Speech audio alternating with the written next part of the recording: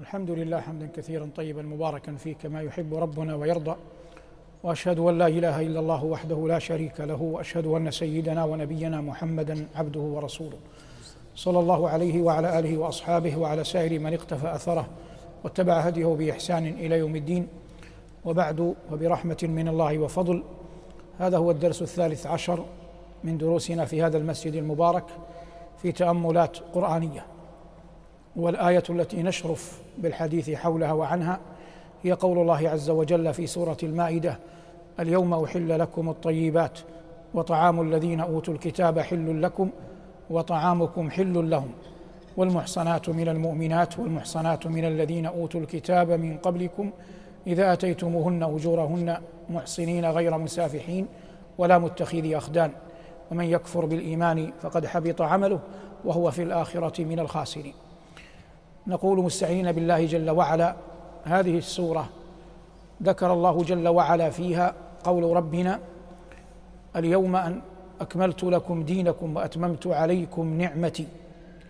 وكان هذا في يوم عرفة وفيه بيان كمال الدين من حيث العبادات. ثم بين جل وعلا في مناسبة هذه السورة مسألة كمال الأمور المتعلقة بحياة الناس المعيشية. فقال ربنا جل ذكره اليوم أحل لكم الطيبات وليس المقصود هنا يوما بعينه إنما في ماضي الزمان وحاضره ومستقبله لأن هذا الدين خاتم الأديان ولا يقبل الله عز وجل غيره ونبينا عليه الصلاة والسلام خاتم الرسل فنحن معشر المسلمين حظه من الأمم. وهو عليه الصلاة والسلام حظنا من النبيين. وقد قال أحد الموفقين ومما زادني شرفا وتيها وكدت باخمصي اطا الثريا دخولي تحت قولك يا عبادي وأن صيرت أحمد لي نبيا صلوات الله وسلامه عليه. والطيبات جمع طيب وهو ما تستلذه النفس وتستلذه الحواس. هذا في الأشياء التي يتعامل معها الناس.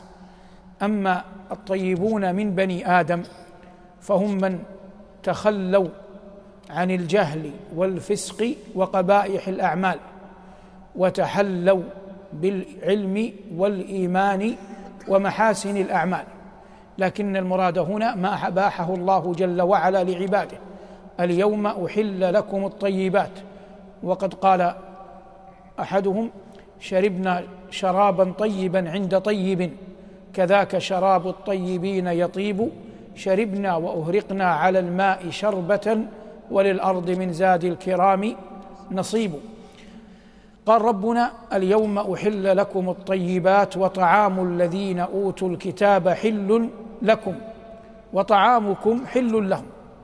اولا من المقصود بالذين أوتوا الكتاب؟ هم قطعا بالإجماع اليهود والنصارى. فهم أهل الكتاب لأن الكتاب أنزل على موسى وهو التوراة وأنزل على عيسى وهو الإنجيل. فالمراد اليهود والنصارى. هل يدخل فيه من تهود أو من تنصر من العرب؟ على خلاف بين العلماء.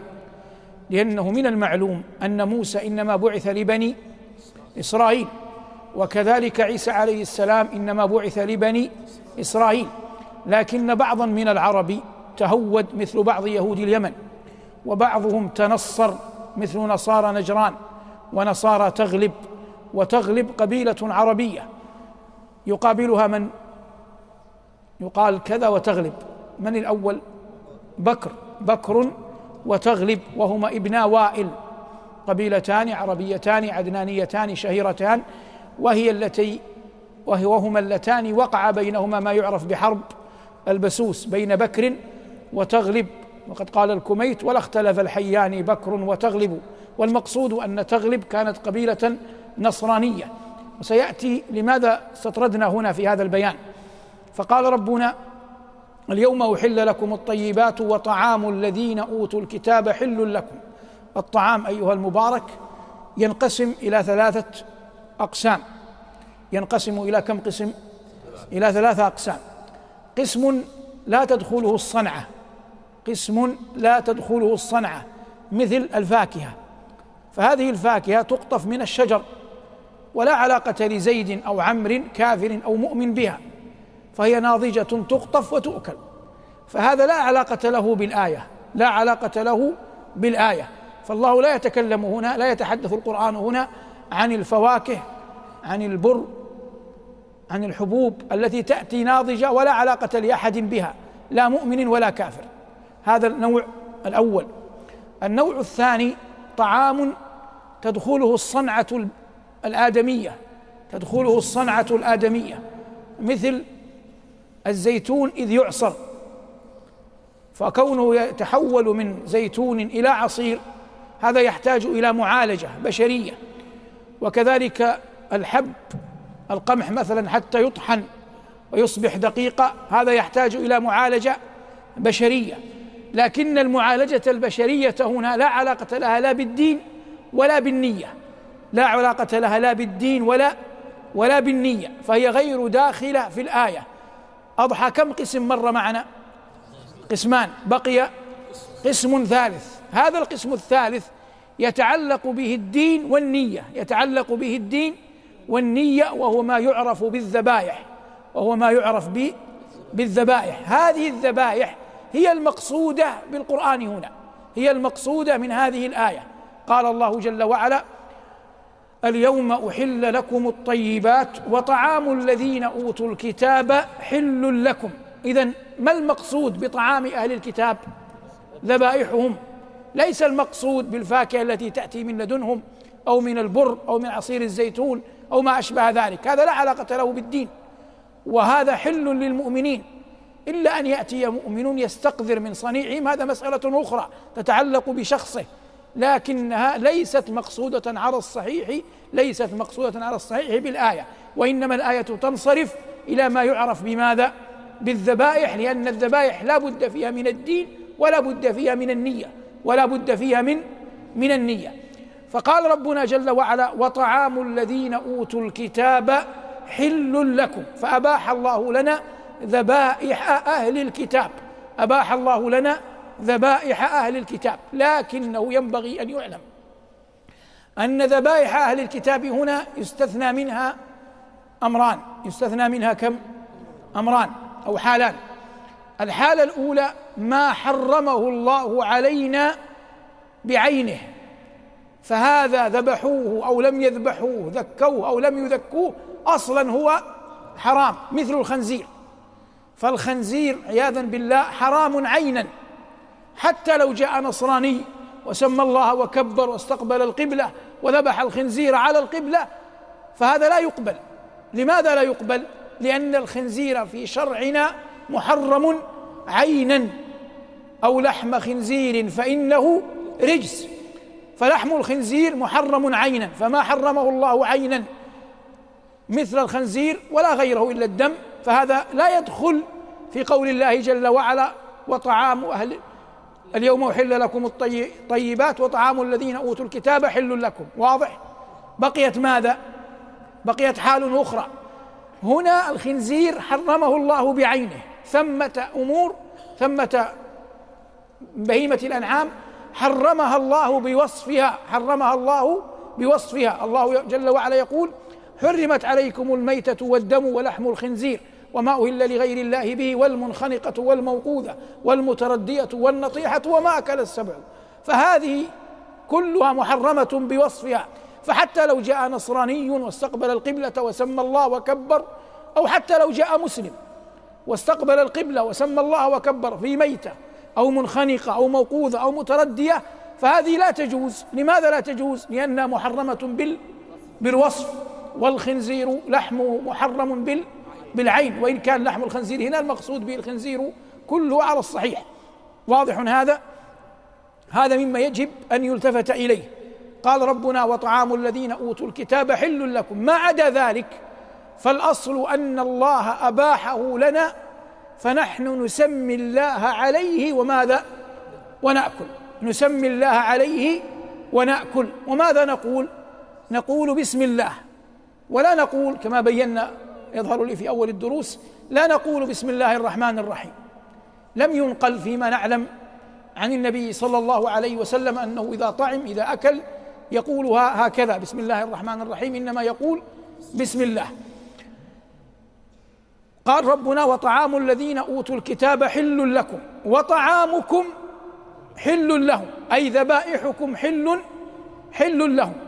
وهذا إشعار إيماء إشعار وإيماء أن هناك نوع من المخالطة يمكن أن تقع ما بين المسلمين وما بين أهل أهل الكتاب لأنه لا يتصور أن نأكل طعامهم ويأكل طعامنا ولا خلطة ولا خلطة بيننا قد يكون هذا بعيدا. لكن لا ليست الخلطة بلازم أو مندوب إليها لكن الآية تشعر بإيماء أن هناك إذن أن هناك إذنا بجواز الخلطة أحيانا بين المسلمين وبين الكفار إن لم تكن الدار دار حرب.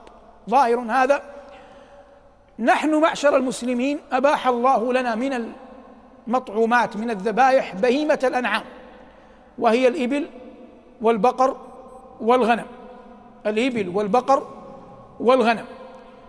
وهذه الثلاث تسمى في شرعنا بهيمة الأنعام وهي التي تحل لغيرنا أن نطعمهم منها. وهي تكون وهذا استطراد تكون في الأضاحي وتكون في المطعومات العادية. فأما الأضاحي فاختلفوا أيها أفضل. الإبل أم البقر أم أم الغنم؟ الغنم الكبش يعني. هنا أريد به الكبش ولا بهيمة الغنم تطلق على هذا الضأن وعلى المعز. جمهور أهل العلم على أن الإبل أفضل. ثم البقر ثم الغنم. وذهب مالك رحمه الله ومن وافقه وهو الراجح عندي إلى أن الكبش أفضل لحالين. الحالة الأولى أن النبي صلى الله عليه وسلم عشر سنين يضحي بالمدينة لا يضحي إلا بالكبش. فلو أنه عليه الصلاة والسلام في أحد أعوامه ضحى بغير الكبش لقلنا بما قال به الجمهور. والأمر الثاني أن الله جل وعلا فدى به الذبيحة من ابن إبراهيم. فدى به الذبيحة من ابني إبراهيم. قال الله جل وعلا فلما أسلم أي الأب وابنه وتله للجبين وناديناه أن يا إبراهيم قد صدقت الرؤيا إنا كذلك نجزي المحسنين إن هذا لهو البلاء المبين وفديناه بذبح عظيم. ولا خلاف بين العلماء أن الذي فدي به أحد ابن إبراهيم الذبيح من ابن إبراهيم إنما كان كبشا نزل به جبريل من من السماء. وقد قال بعضهم ممن يروى عن كعب الأحبار أو عن غيره أن هذا الكبش هو الذي تقرب به هابيل إلى من؟ إلى ربه. فمكث يرعى في الجنة حتى فدى الله جل وعلا به أحد ابني آدم اسم أحد ابني إبراهيم إما إسماعيل وإما إسحاق. والله أعلم من كان الذبيح.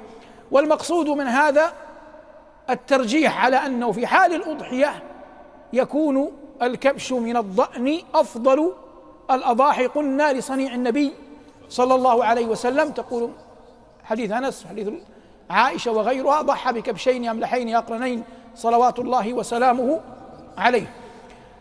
كذلك من الاستطراد العلمي في هذه المسائل أن الظأن كما تلحظ لم يكشف الله له عورة. ولهذا قال بعض من يعنى بمثل هذه الأخبار إن النعجة من أكرم الدواب على الله لأن الله ستر عورتها لأن الله ستر عورتها. الأضحية والعقيقة العقيقة. ما يضحى عن من ما يذبح فرحا بال بالمولود. شاتان عن الذكر وشاة وشاة عن الأنثى. لكن الفرق بينهما أنه في حالة الأضحية تجزي الإبل عن عن سبعة والبقرة تجزي عن سبعة أن يشترك الرجل ورجل آخر أهل حي صداقات قرابات لكن العقيقة لا لا اشتراك فيها. لكن العقيقة لا اشتراك فيها. إن ضحى بالإبل إن عق يعني ذبح عقيقة إبلا أو بقرا جاز لكنه لا يشترك فيه أكثر من شخص واحد. واضح هذا؟ فإذا اجتمع للرجل أن وافقت عقيقة ابنه أو ابنته عيد الأضحى ضحى وأغنته الأضحية أن يذبح عقيقة عن ماذا؟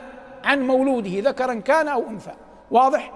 فيدخل في قواعد الشرع دائما الأصغر في في الأكبر يدخل الأصغر في الأكبر ولهذا نظائر لهذا ماذا؟ نظائر ما معنى نظائر؟ مثيل شبيه من ذلك أن الإنسان يدخل المسجد والإمام راكع وهو يريد أن يدرك الركوع وهو يريد أن يدرك الركوع. فالأصل أنه يلزمه كم تكبيرة؟ تكبيرة يلزمه تكبيرتين تكبيرة الإحرام وتكبيرة الركوع الخفض للركوع. لكن لو أنه اكتفى بتكبيرة الإحرام تدخل تكبيرة الخفض للركوع ضمنا. واضح؟ فهذا أصغر دخل في في أكبر. ونظيره أن طواف الوداع ليس طوافا مقصودا لذاته. ونظيره أن طواف الوداع ليس طوافا مقصودا لذاته. وإنما المقصود أن يكون آخر العهد بال بالبيت أن يكون آخر عهد الرجل بالبيت. فلو أن إنسانا أخر طواف الإفاضة حتى كان آخر شيء يصنعه في النسك طواف الإفاضة. أضحى هذا الطواف إن بعده غادر مكة أصبح يندرج فيه طواف الوداع ولا حاجة لأن يطوف الوداع. واضح؟ يدخل فيه رجل دخل المسجد. فالأصل أن الإنسان إذا دخل المسجد يلزمه تحية المسجد. إذا دخل أحدكم المسجد فلا يجلس حتى يصلي ركعتين. لكن صلاة تحية المسجد ليست مقصودة لذاتها. إنما المراد أن لا يكون جلوس إلا بعد إلا بعد صلاة. فلو دخل الآن نحن فرغنا من صلاة العشاء لو دخل أحدنا المسجد والإمام يصلي هل نقول له صلي ركعتين ثم ادرك الإمام؟ لا يقول بهذا أحد. لماذا؟ لأنه لم يجلس هو أتى إلى الصلاة واضح؟ فأصبح غير المقصود دخل في في المقصود غير المقصود دخل في المقصود وأنا أستطرد عمدا حتى تتوسع مداركك لو أنك سمعت المؤذن لصلاة الفجر وأنت في بيتك فقدمت المسجد لتدرك الإمام بصلاة الفجر فجئ دخلت المسجد والإمام لم تقم الصلاة لم تقم الصلاة بعد. فبكم ركعة أنت مطالب؟